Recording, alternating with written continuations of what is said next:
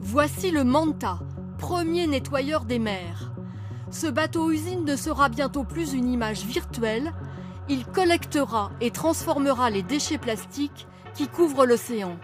Le navigateur Yvan Bourgnon s'est lancé le défi d'une collecte à grande échelle.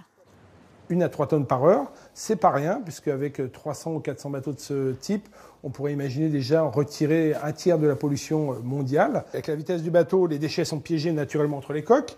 On ne le voit pas, mais à l'intérieur, il y a des tapis roulants qui font remonter les déchets à l'intérieur du, du, bateau. Allez hop Bouteille de shampoing, je vais pouvoir me laver C'est lors de son tour du monde en solitaire en 2014, sur ce catamaran, qu'Yvan Bourgnon découvre l'étendue de la pollution marine.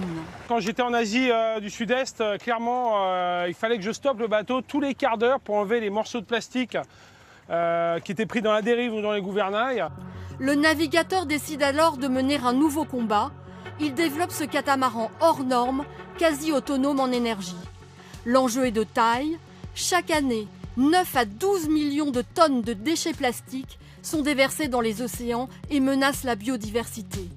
Premiers essais de ce voilier au large des côtes méditerranéennes en 2023.